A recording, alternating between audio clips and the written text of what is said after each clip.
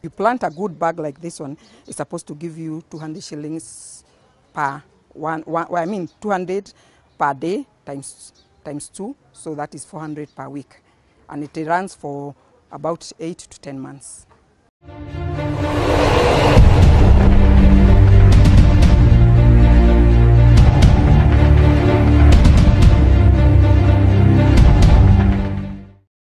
Keep it farming with AIM Agriculture. Today we are going to show you how to set up a vertical grow bag.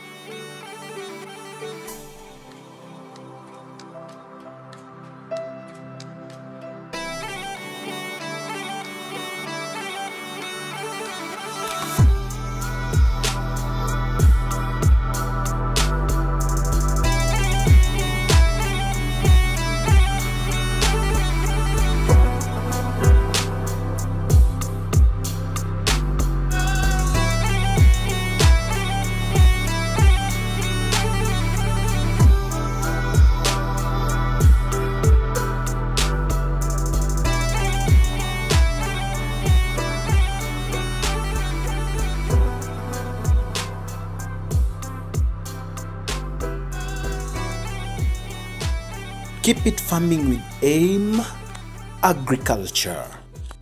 A bag costs uh, a, a thousand shillings.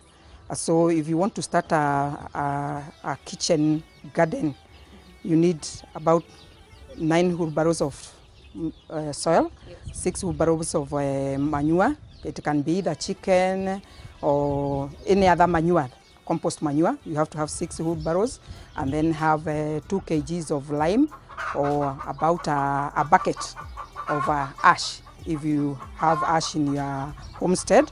And then when you put up the bag, what you need to put in mind that it has to be well eh, well straight other than when you put water it can overflow and uh, have weight weight on one side so when, when your bag is ready mm -hmm. you can uh, get uh, seedlings either from uh, from whatever sources that you, you get your seedlings from. Like me, I get my seedlings from plant raisers because they have good seedlings, they are quality, because not most of their, their seedlings go to waste. So their seedlings are good. You see the ones, these ones are about two days and they, they can even stay for a week. Yeah, so their seedlings, they are, they are based in Kitengela. That's where I get my seedlings from. Uh, I want to start up uh, by showing you how we put them so that we can later water them up. Okay, so we now want to put our seedlings. So you just use, use an ordinary stick. We no longer use the jembes. So even for a modern lady, you can still do the shamba and still. You just need your gloves Yeah, yeah, probably and gloves or a stick. whatever, and a stick. Yeah. And now I want to show you how we plant them. So we start from the, the down one.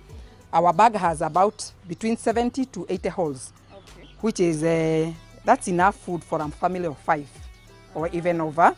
And the bag goes for This is a can- medium bag. yeah, this is is a medium bag that goes for a thousand.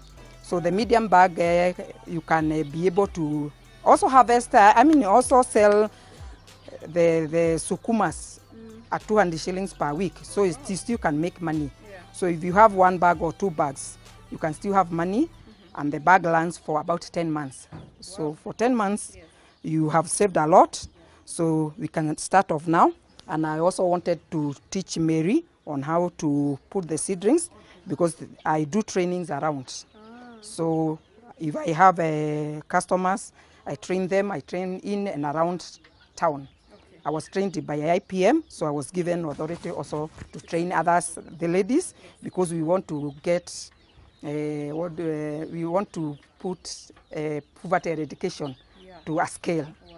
Because when you have uh, the bag, mm -hmm. you at least you have an extra coin in your in your That's pocket. Yeah. yeah. So I think we can start off. yeah.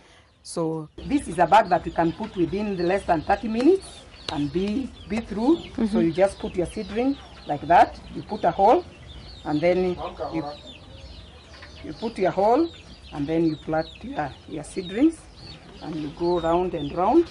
The advantage of using the bags where like here it is 20 bags. And each bag has uh, around 70 to 100 holes. And uh, not counting the top.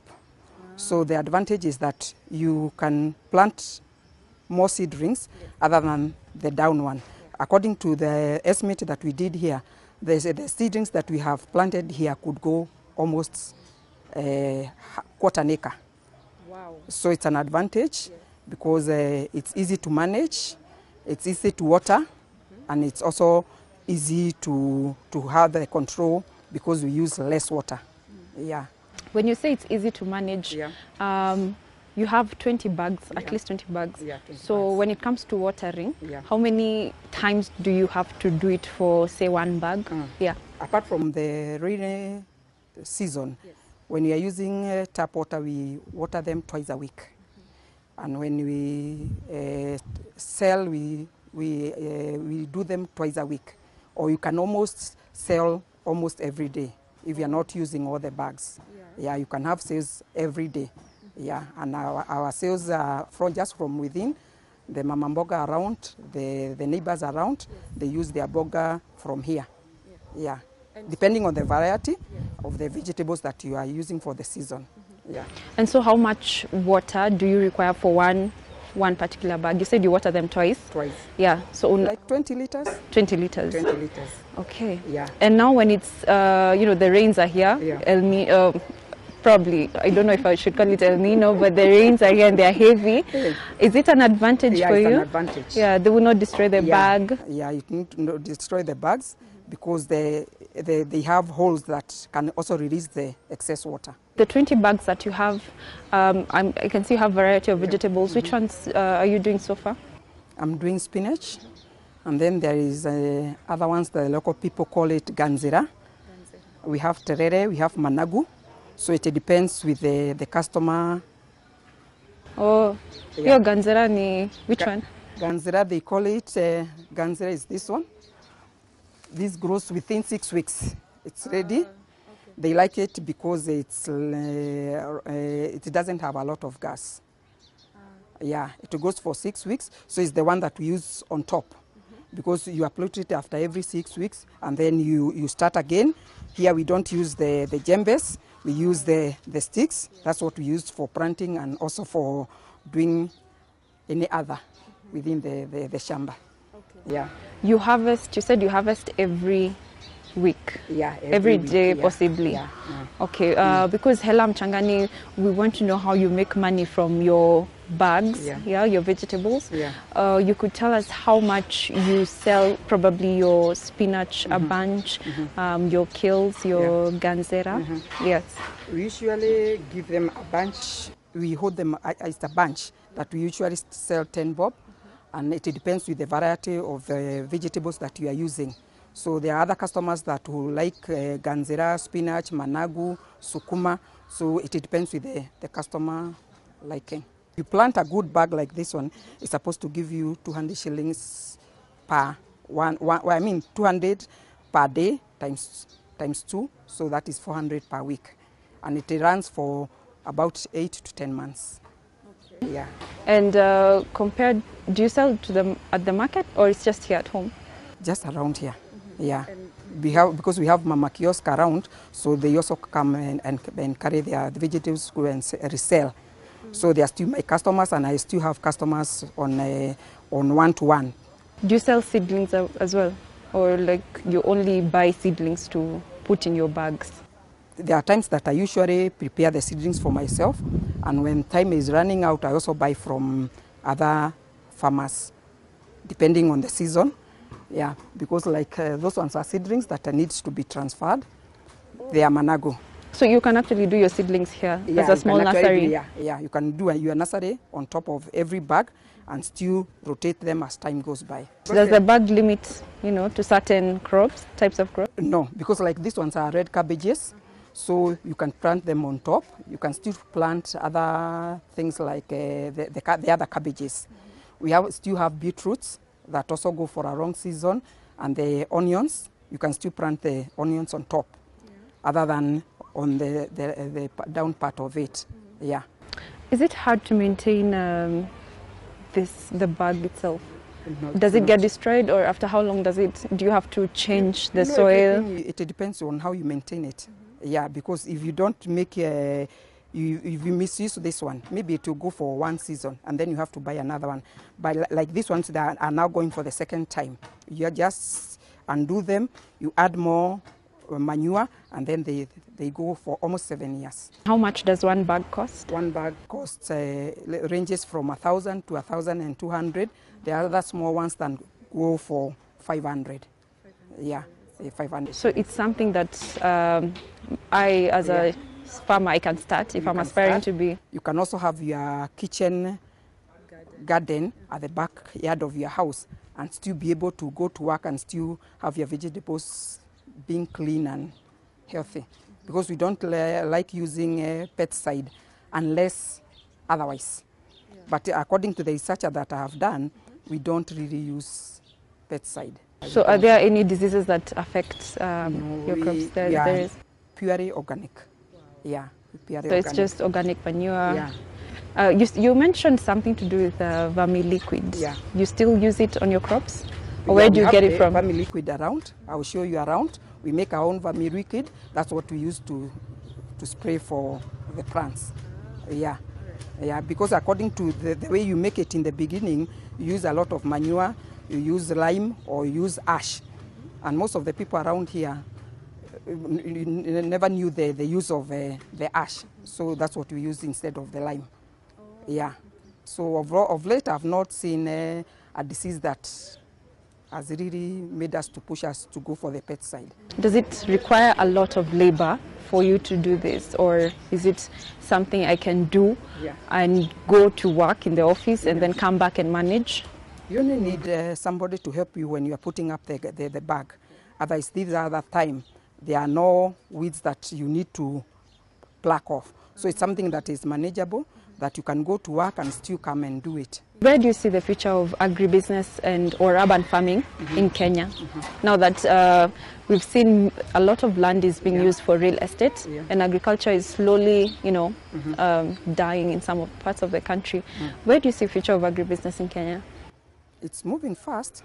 So compared to uh, the time that I first learned about IPM from the from the, the media and the, the people that have trained within the village, that they are making their own uh, vegetables. They have also made other people to know about it.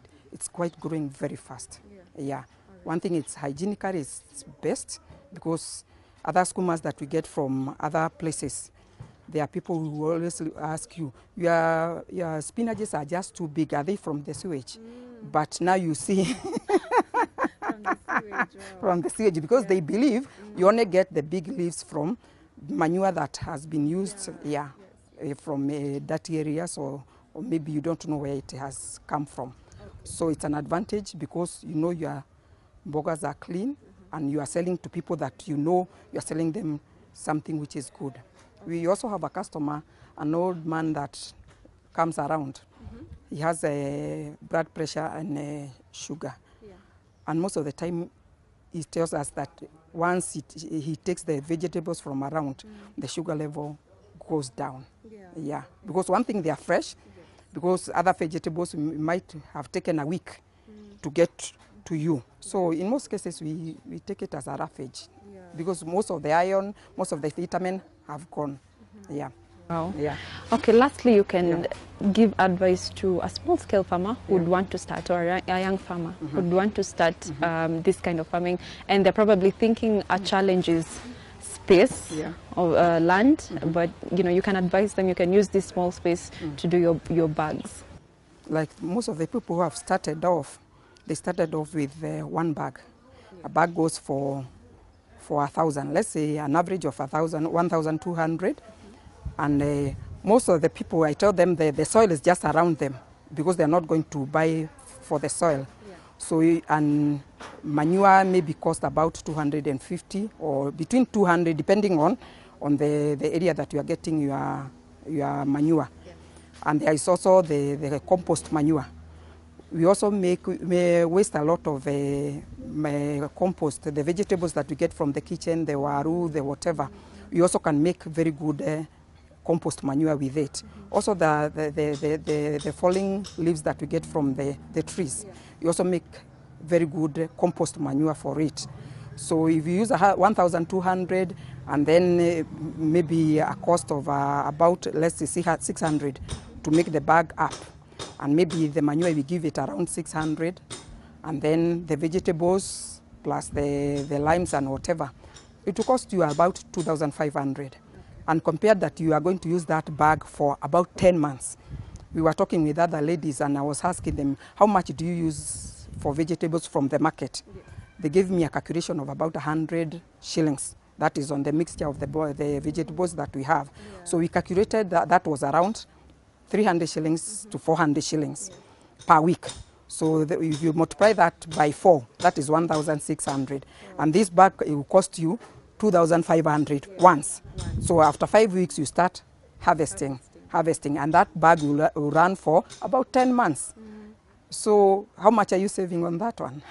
you are saving a lot of money. So I'm trying to encourage the ladies at least to have even one or two bags to sustain their, their families so that also hygienically we can uh, get off from these lifestyle diseases. Yes. Yeah. And the advantage of these stones is when I'm watering them, is it takes a lot of water down downstream.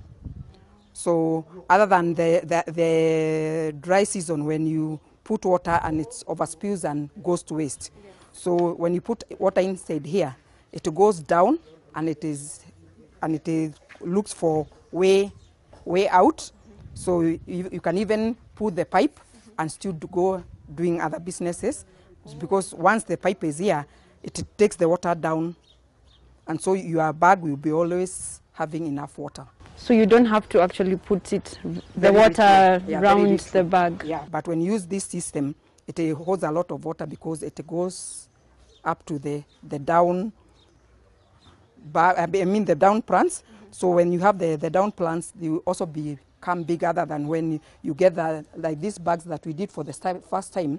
The, the, the, the seedlings which were down didn't have a lot of water. So it had to think the Juakali way. Oh. yeah. And you have to use the plastic, uh, the bottle, the plastic bottle, or you know the plastic that you've put round? It's only for the upper part of it. The, the, the other side, the other part, we have just uh, made up stones one on top of the other. But this one also helps us not uh, to have the, the soil or a lot of waste going to, into this, so that it can take the water down. So down is just the Yeah. stones. There's no Yeah. the plastic. Yeah. It's just on Yes. top. The plastic is just here on top. Yeah, because when you put it and when you pull it up, the stones still stay the way they are. So this one is only for the system of the upper part. Yeah. Yeah. Is it only stones that you can use, or is there anything else? stones because uh, it has space, air space that will take the water. So we are making use of every available material within the compound. Yeah. That's good.